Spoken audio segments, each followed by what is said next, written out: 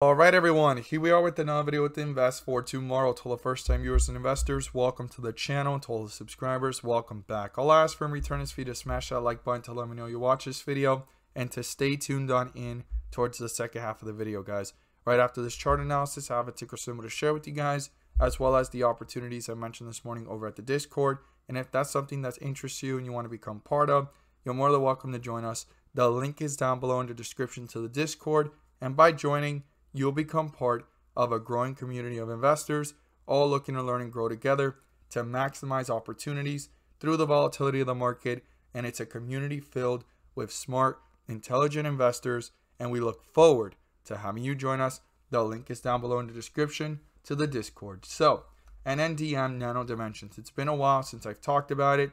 And one of the most important things I see here in the chart since way back in May is the low of 542, guys.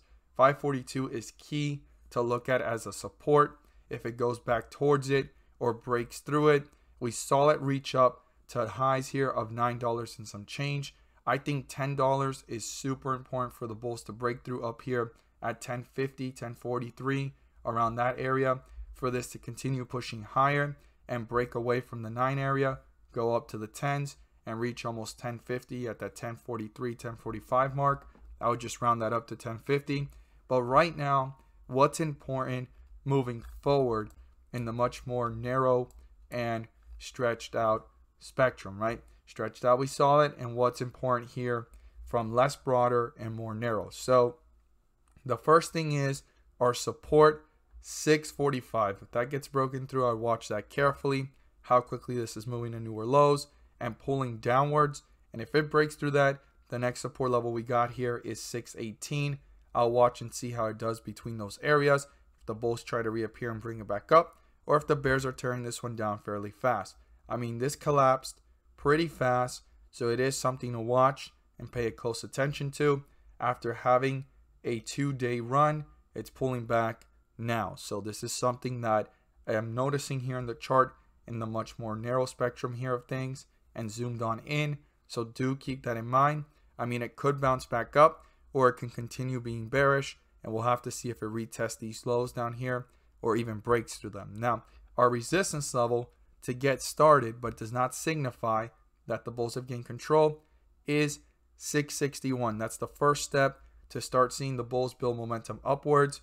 But significantly, the most important part is the highest point in the pre-market before the fall and that's 696 okay the bulls retried to touch it here after the bell and it got rejected and that's where the rejection started and it fell for the rest of the day so super important for the bulls to break through that turn it into a support to start reaching newer highs new resistance levels and continue this momentum that had been started for the last two days to the upside to reach newer resistance levels and continue pushing into bullish territory if you learned something new, don't forget to subscribe, click on the bell so you don't miss a single video that I post. Share this with a friend so they can receive the insight as well. And all I ask for is three or five more minutes of your time. I have a ticker symbol to share with you guys, as well as the opportunities I mentioned this morning and how they reacted. And if you want to know what stocks I watch daily, you're more than welcome to join us. The link is down below in the description to the Discord, and we look forward to having you join us.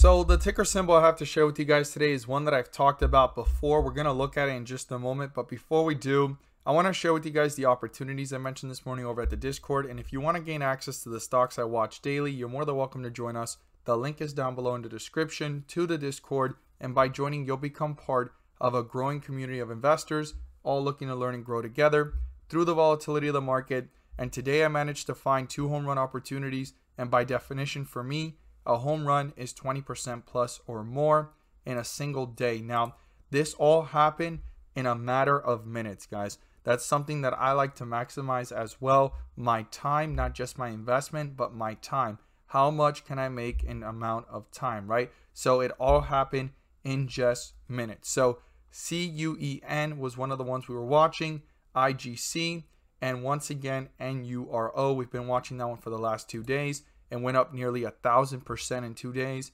And today it gave another nice jump of over 20% plus. Let's look at it here together. So IGCE, excuse me, no E, just IGC, was actually pulling downwards, consolidated, dipped a little bit at the bell, and took off, giving about a 10 to 15% jump, pulled back down, giving a new low, and jumped up at a highest point in just a matter of 5 to 10 minutes of 20% plus and 15% plus, giving two opportunities that quickly. Now, throughout the rest of the day, it gave jumps of about 3 to 5%.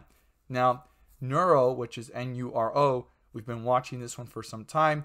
It hit a new all time high today, and we started watching this one at $30 where it was consolidating and pulling downwards, started to take off, consolidated again, and took off again for a highest point of 30% plus. Now, this was a lot riskier in the pre market hours, but it had its run and it pushed upwards, guys. This was very interesting and phenomenal run right there. We saw it happening in the pre market and it just took off. Now, the other stock was a 15% plus opportunity, and that was CUEN. And this happened in a matter of 10 to 15 minutes. We started watching it in the pre market, started to run upwards, giving a 5 to 10% jump, pulled down and jumped up in just five minutes a highest point of 15% plus, pulled back down, and then 30 minutes later took off for another 15% plus. Collectively, between both opportunities, presenting itself with a 30% plus opportunity between the two jumps, but singly, each one individually was about 15% plus at their highs. So, if you want to know what stocks I watch daily, you're more than welcome to join us. The link is down below in the description to the Discord, and we look forward to having you join us. So, this is a stock that I've been talking about for some time. I've talked about it towards its bottom. It touched 553 and it started running upwards. It was in the 620, 630s and it's continued to push upwards and it's at 680, guys.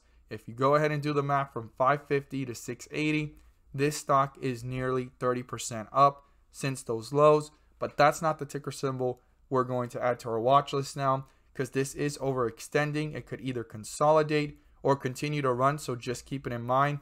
But if it goes into further weakness, that could be a sign of weakness pulling back down to retest these lows or present itself as an opportunity for the long term based off analysis ratings. But I just wanted to update you guys on that one. It's 30% plus up. And if you guys want to get live updates on when I see these stocks and when I'm watching them towards their bottom, you can get that access as well over at the Patreon. So the stock is Paysafe. Okay.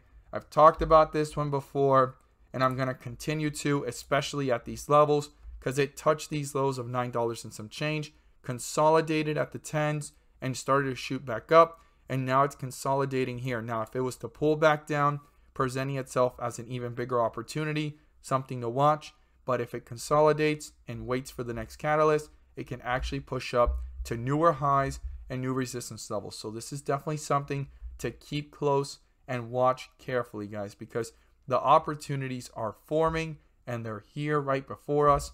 And even if the stocks pull back after doing your due diligence and research as an investor, if you liked it at these levels, you should like it even lower because when it slingshots right back up and reverses, the opportunities are much larger and bigger, guys. So definitely do your research, do your due diligence, these stocks have been moving. So far, this one, since its bottom, has actually moved up a nearly 10 to 15% jump.